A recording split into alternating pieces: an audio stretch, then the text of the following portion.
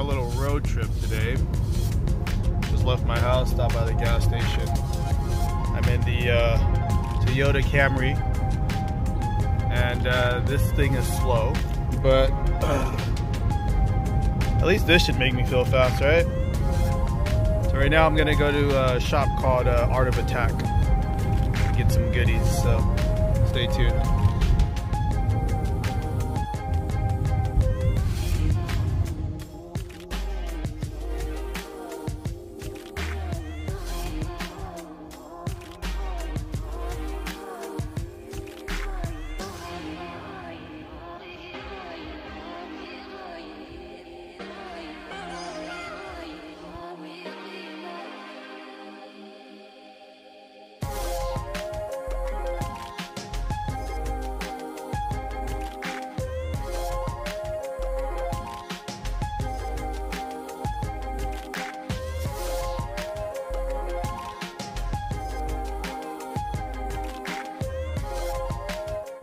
Got back from Art of Attack.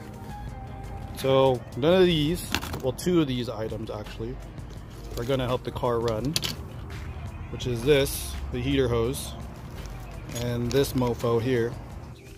Then I just got the Hybrid Racing dipstick and oil cap because I got a Hybrid Racing fuel rail and shifter. And then I got the radiator cap too just because I'm a moron.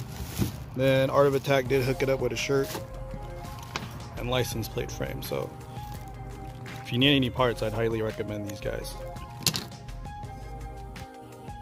Out with the old.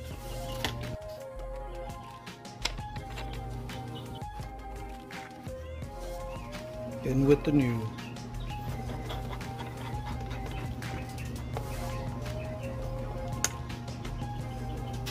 Mm-hmm.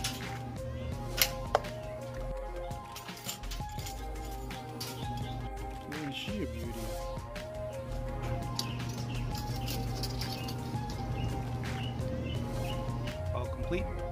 Hybrid racing, hybrid racing, hybrid racing.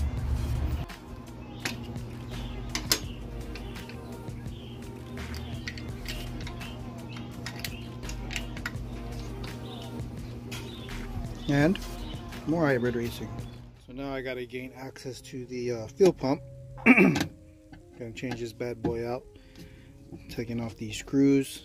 And then I'm gonna add in the AEM E85 compatible 320 LPH fuel pump. So that way it could feed the Gram 750s and hopefully um, run some E85. Just got my flex fuel kit from Summit, so we'll see how much longer this whole build's gonna take and how much more power this car will put down on some ethanol. So in the meantime, I'm gonna take these babies off and get started. Take this baby off. And then there's a quick disconnect here. Screw all these, take it off, bloop, and then I should be able to put the new one in.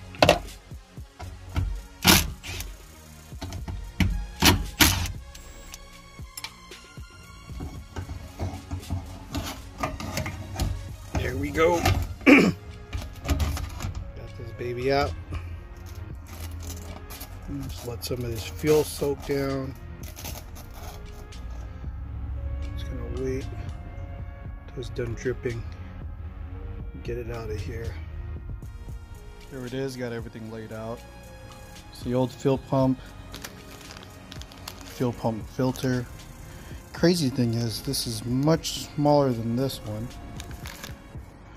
Maybe I might use this factory OEM one because it's larger versus this one here. We'll see right now. See how everything fits and mocks up. Out with the old and with the new. I chose to keep the OEM fuel pump filter because this little thing, I don't know.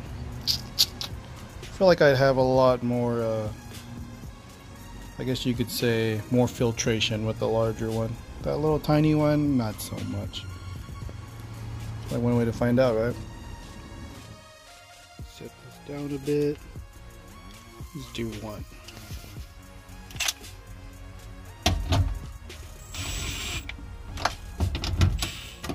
That's it. Fuel pump's good, ready to go. Plug this baby back in.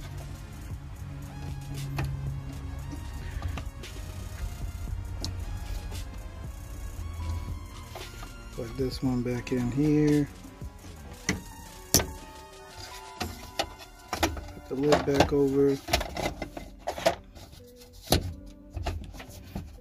Mission accomplished.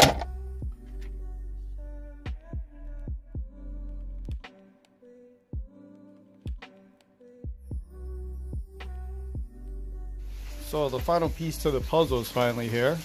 Don't mind all that noise, it's the rain. It's already opened it, of course. It's already had the K Pro, but I sent it back to get updated with the V4. And this is everything it came with. So uh, this one to communicate with the laptop. And we have all these. I still do need a vehicle speed sensor converter and a few other things, but yeah, I'm pretty damn excited. So now I just gotta pull out my laptop, get everything calibrated, and start her up. Gonna take this all off. So I could show you guys what the daughter, the, the Hondata board looks like. So yeah, taking off the screws, showing everybody what it looks like on the inside if you don't know. The latest Hondata tune board or daughter board, data board, whatever you want to call it, it's white. Especially for the V4. Just gonna remove these real quick. Try not to lose the screws. Hmm. There it is, Hondata K Pro. Pretty fucking excited, man. Moment of truth. TPS calibrated. Everything else turned off. Moment of truth, boys. And girls, if y'all even watching.